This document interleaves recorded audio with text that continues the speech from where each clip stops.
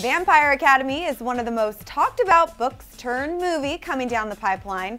And I actually just caught up with three of the film stars at the Teen Vogue Young Hollywood party to get exclusive details on what we can expect from the movie and what it's like working on a film with such a die-hard fan base. I, I, guess you could say Vampire Academy is about uh, two best friends that are bonded for life. Uh, one that's full vampire that ranks very high on the food chain, and then her, her best friend who vampire and doesn't really rank so high on the food yeah. chain, and kind of the trials and tribulations of high school with a twist that they have to fight for their lives. There's a lot of action. Working with Gabriel was amazing. He played my dad, and he's just, I was just like, Little Women!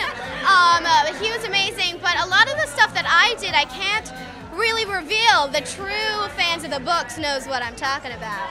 Dom right there, who's in Vampire Academy. Yeah, yeah.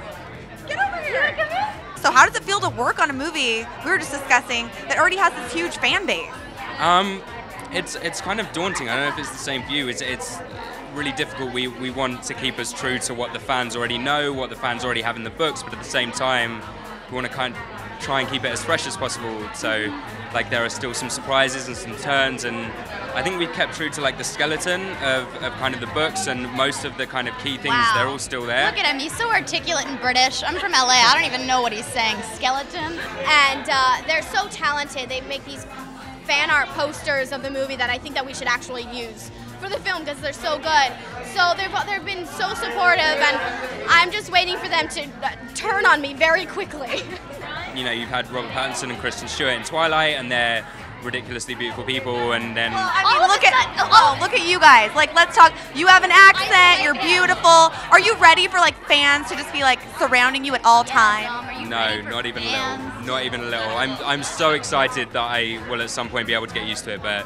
I'm a little boy from Kent. That's that's who I am. Like I'm Southeast England. Like I I don't know. I, I hope that I'm I'm able to take it very yeah, well and very me quickly. too. Studio City repping. I gotta say, I already love this cast, and I know that fans of the book series are really looking forward to the film, which very appropriately is set for release on Valentine's Day of 2014. If you're a die-hard fan of the books, we want to hear from you, and we want to know what you're excited about and what you think about the stellar cast. For more updates on this flick, subscribe to Clever TV on YouTube. I'm Jocelyn Davis. Thanks for watching.